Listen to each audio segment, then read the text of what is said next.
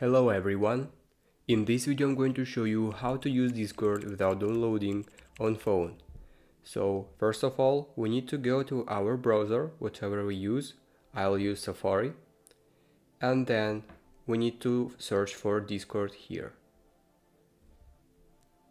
Then these uh, results of our search will open and we don't need to click on the very first link here, discord.com we don't need this website. We need to scroll down here until we will see discord app.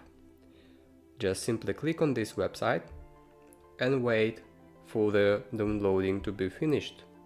And basically that is how you can use uh, discord without downloading. But of course you will need to log into your account here I already logged in so I don't need to do this but you'll need to log in before you can use uh, Discord without downloading.